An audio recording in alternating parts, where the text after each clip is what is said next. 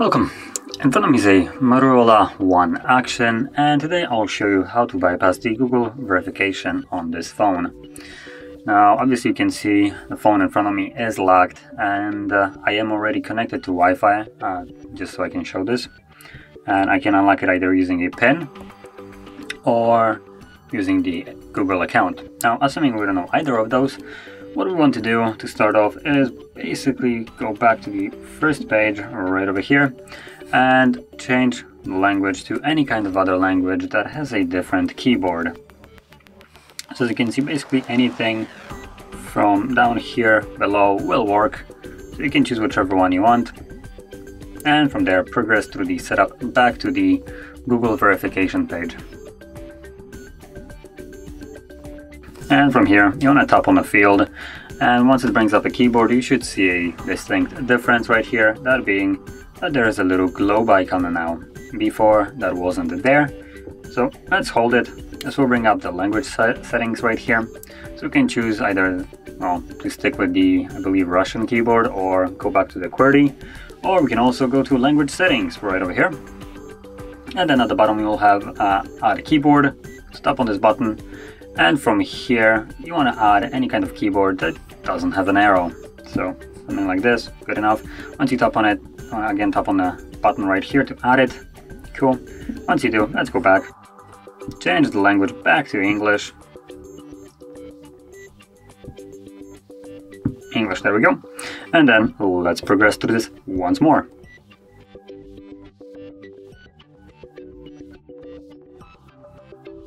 As you can see, there is still the keyboard. So what you want to do now is hold the globe icon once more,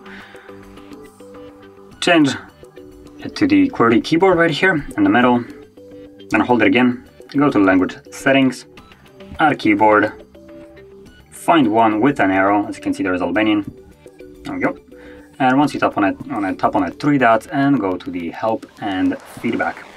This will bring up support section right here and you want to tap on the field to describe your issue. And what you want to type in is Morse code or just start typing MO and it will bring up the option that we're looking for as suggested so use more sorry Morse code. Once it once you tap on it it will bring up this page right here with the video right on the top. So you want to tap on the video it will load it up and from there you will have a three dot option. And when you tap on it it will give you this peculiar option, watch later, and this will open it in Chrome. So from here, let's accept and continue. Uh, no thanks. Tap on the search bar on the top and navigate to hardreset.info website.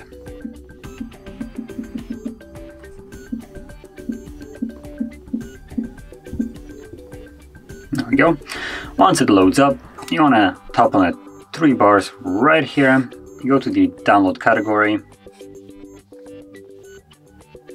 And then in the download search bar type in Android 8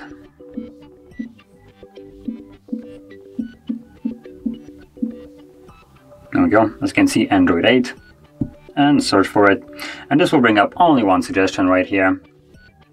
So let's select download. And then scroll down and you want to actually hold it, the download link right here. So when you hold it, it will open up this window and you want to choose open in incognito tab. We do it this way, so when there's a sometimes problem with the download, um, this will basically prevent it from happening. Um, the, the, download problem, I don't know, it's just kind of random, uh, but this seems to solve it all the time. So let's stop and continue right here. Let's allow, okay, let it download. And once it's done downloaded, you want to open it up. And before we can actually install it, we need to go into the settings, then check the allow from this source and simply go back. And now we can install it. And again, once it's installed, we want to open it up. And hmm, there we go. So from here, uh, should be on the application. So what you want to do is tap on Google Account Manager APK install, select for version 6.0, And then again, we need to go to the settings, allow from this source because this is a different application now. Go back, install, click on done, and this time around, choose bypass FRP. And select browser sign in. It will open up this page, so disregard this page. What you want to do again, tap on three dots and browser sign in, confirm it, and this will open up Google sign in page. So from here, tap on the sign in and you can log in with any kind of account that you want to. Now if you don't have one you can create it uh, even though there is a create account right here as you can see I would discourage you from going through this route. Um, I have no actual idea how this will work. I uh, haven't actually tried it so you should try probably creating an account on your computer or another phone if you can um, you can also use an existing account if you want to, uh, assuming you feel comfortable with that. And that is basically what I'm gonna do. I'm gonna use my existing account, so let's just type it in.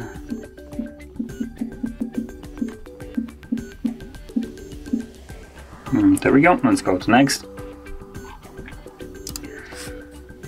And from here, I'm gonna put in the password, so let me do that off the screen.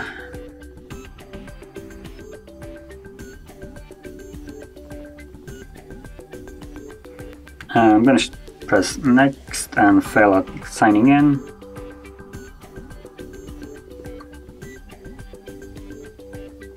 Try that again.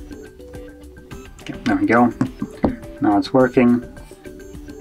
Okay, so as you can see, um, the app has, well, we have signed in successfully. And basically once that happens, what you want to do now is simply hold the, actually no, not hold the power key, let me, um, we want to go back. There we go. And from here, go to Gmail account. Although we don't have to be in incognito. There we go.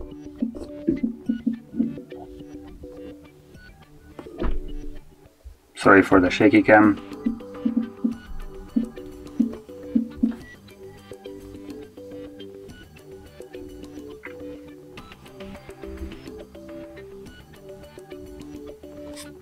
And again, you want to log in with the same account that you used to log in previously. So again,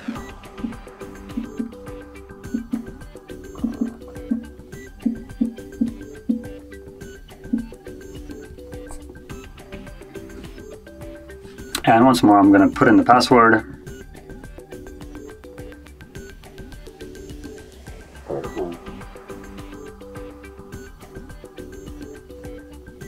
And let's log in once more. And there we go. So as you can see, we are now logged in. And from here, we are going to go to, quickly check. Um, so let's type in this. So google.com slash Android, oops, no space, uh, Android slash find. There we go.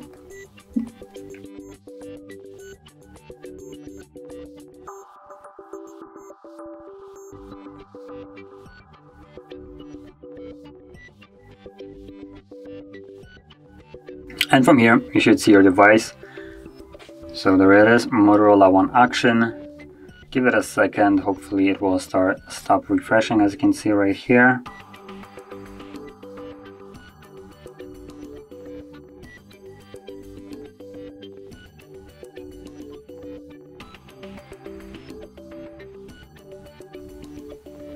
Okay, there we go. So you are looking for the percent uh, percentage of the battery right here. If you don't see that, do not start the process. And as you've seen, it stopped uh, refreshing and uh, showed us a bunch of options on the bottom. And then I just tapped on the refresh once more just so we can see the battery percentage. Once you see this, you can progress. So we want to tap on setup, security, erase, or end with erase. And from here, can this disappear? Okay, there we go.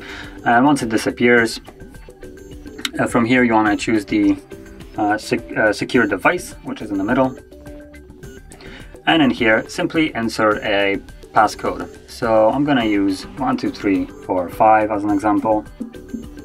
Oops. There we go. And then repeat it at the bottom. Oops. There we go. So you can see one, two, three, four, five again. And let's tap on next. Set password, yep. And once you set it up, uh, let's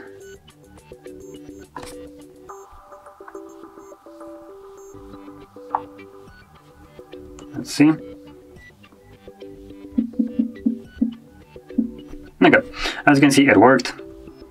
So from here, what you want to do is dismiss, then wait for this to disappear, and now choose erase device.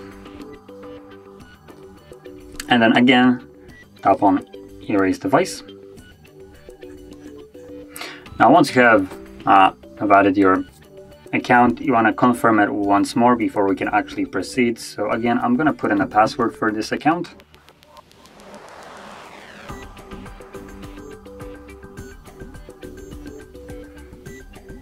Go, let's go to next.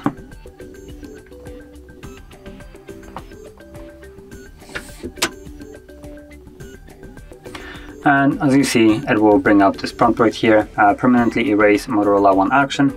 Yep, and uh, erase check whatever this regarded it will automatically begin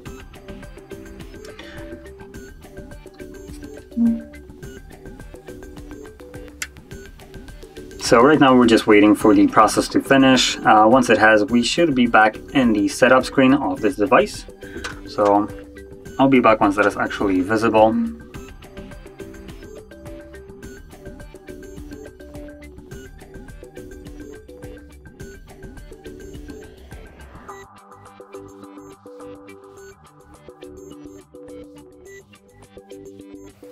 And as you can see, now the process is finished. So let's finish up the setup. Um, so again, let's get started. Skip. Now this time around, uh, we will need to again connect to Wi-Fi. So actually do that off the screen maybe.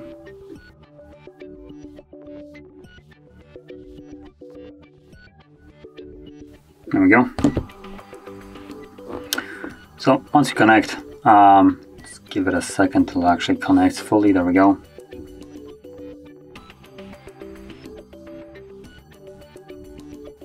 So right here you will see again a verify pin. Um, it was the same thing as before, uh, verified pin, but the difference right here is that now we just need to insert the pin that we used uh, right before we uh, formatted the, the, device. So as you remember, I set it to 1, 2, 3, 4, 5.